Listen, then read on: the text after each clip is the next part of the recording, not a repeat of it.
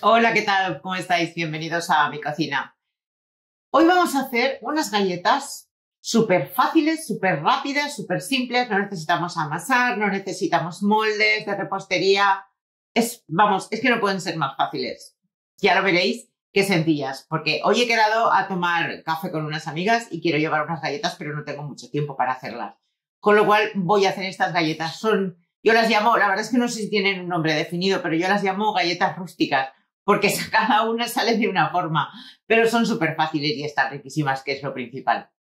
Así que vamos a empezar ya y quedaros a ver el vídeo entero porque os va a sorprender.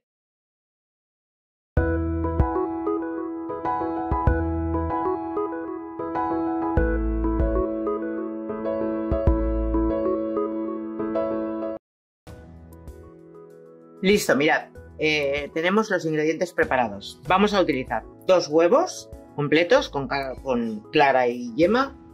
Eh, vamos a utilizar 70 de azúcar, 50 de leche, a ver, de aceite creo que eran, sí, 40 de, 40 de aceite, la piel de un limón, que ahora la voy a añadir, ahora la rayaré, que no la tengo rayada, se me había olvidado, 5 gramos de levadura y luego de harina 250. Harina normal, ¿eh? no, no necesitáis ni harina de fuerza ni nada de eso, porque ya como os he comentado son unas galletas súper fáciles, solo hay que mezclar y al horno. O sea, ya veréis qué cosa más, más fácil, no necesitamos ni molde, ni amasar, ni nada. Así que vamos a empezar con ellas. Voy a rallar el, limón y nos ponemos a la hora. Bueno, lo primero que vamos a hacer es añadir la levadura a la harina lo vamos a mezclar un poquito y lo vamos a reservar hasta que lo vayamos a poner porque la harina será lo último, ¿eh?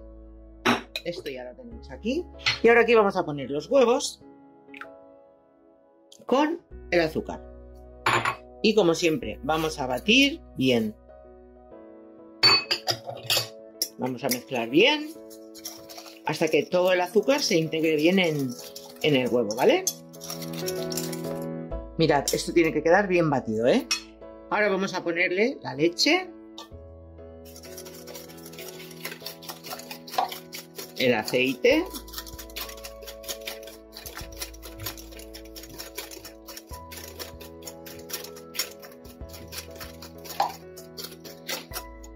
Y la piel del limón. Yo he rayado solo medio porque mi limón era bastante grande, pero como veáis, ¿eh? esto no importa. Que rayéis medio o rayéis uno entero, como vosotros veáis. No va a influir en la, en la fórmula de la receta. Y lo que nos queda es la harina tamizada. Yo la voy a tamizar poco a poco para poder ir integrándola mejor. Si no la queréis tamizar, no la tamicéis, pero yo os lo recomiendo porque nos será más fácil si la tamizamos, integrarla aquí sin grumos, ¿eh? Pero bueno. Y así lo vamos a hacer con la harina hasta que acabemos con ella, ¿eh?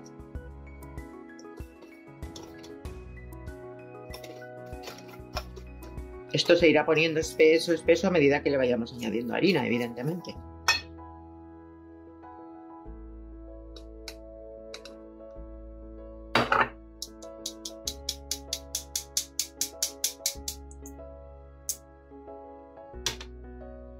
Y nada, que yo me quedo aquí mezclando y ahora veréis el resultado.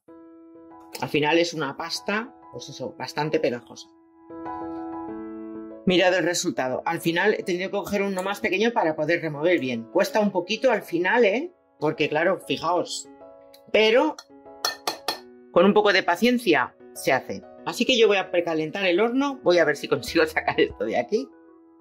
Voy a precalentar el horno a 180, ¿vale? Calor arriba y abajo. Y vamos a preparar una bandeja con un papel de horno para ir poniendo las galletas, que ya veréis qué fácil es. Bueno, me quedo aquí intentando apurar esto para no torturaros los oídos. Bueno, mirad, como esta masa es tan pegajosa, he puesto un bol con agua para mojar las cucharas, porque si no es complicado, ¿eh?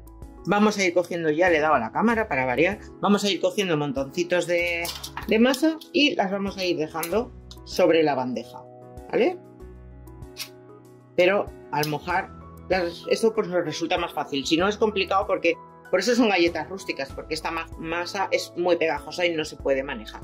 Así que yo me quedo aquí haciendo los montoncitos. Y en cuanto los tenga, pues los metemos al horno. El horno ya está precalentando, ¿eh? A ver, voy a probar sin mojar, pero es que, a ver. Bueno, podéis probar, ¿eh? Vais probando y si veis que sin mojar no las podéis poner, pues nada, pues las mojamos. A ver. Mirad, aquí las voy a ir dejando y a ver cuántas me salen. Bueno, estoy aquí con un restito de masa que me ha quedado, pero no lo vamos a tirar, lo vamos a aprovechar, lo vamos a poner aquí mismo. Fijaos si es pegajosa esta masa, ¿eh? Así que tener paciencia. Esta va a salir chiquitina, pero bueno. Y seguramente más seca que el resto, porque al tener poquita masa, pero en fin, no la vamos a tirar. Bueno, y ahora solo nos queda un poco de azúcar por encima. Quedan riquísimas, ¿eh? Para la poca faena que tienen estas galletas, que las tenéis hechas en un plis, porque ya habéis visto lo que ha costado. Pues nos cuesta más, yo creo, hacer los montoncitos de masa por lo pegajosa que es que otra cosa. Pero si hacéis el truquillo que os he dicho del agua, para las cucharas lo vais a hacer mucho mejor, ¿eh? Yo he probado de las dos maneras y cuando la primera bien, la segunda también, pero cuando ya llevas tres o cuatro, la masa, o sea, las galletas están que se les pega todo, las, las cucharas, perdón están que se les pega todo y ya es complicado. Así que nada, vamos con esto al horno. 180, como os he dicho. Calor arriba y abajo. Yo creo que en unos 20 minutos. La vez pasada las dejé más tiempo y me quedaron un poco secas. Así que las vamos a dejar de momento 20 minutos y luego os confirmo. Abriré una y veré qué tal está. Bueno, mirad mis galletitas. Mirad, ¿veis? Están blanditas por dentro y crujientes por fuera. Vamos a esperar que se enfríen un poquito y os las presento y abrimos una para que las veáis por dentro. Bueno, pues aquí tenemos las galletas, mirad. Esta como no me cabía por ahí la he dejado encima, la vamos a abrir para que la veáis por dentro. Mirad esto. Mirad qué pinta tienen. Están increíbles. Increíbles. Las tenéis que probar porque son un auténtico espectáculo. Y nada, como siempre os digo, esta me la voy a comer ahora mismo. y la pequeñita que la tengo aquí apartada, esa que me sobraba de la masa, estará un poquito más seca. Mirad, pero también está buena, ¿eh? Así que nada. Eh, como os he dicho, han sido exactamente 22 minutitos, ¿eh? Y nada, pues como siempre os digo que si os gustan mis vídeos, pues nada, like, suscripción y activación de campanita para no perderos ninguno de los vídeos que subimos, que subimos tres recetas todas las semanas dos saladas y una dulce para el fin de semana. Y nada más. Que si hacéis alguna de mis recetas y las subís a Instagram, etiquetarme para que os pueda dejar un like y algún comentario. Y yo me despido aquí, que ya las tengo preparadas para la merienda. Hasta el próximo.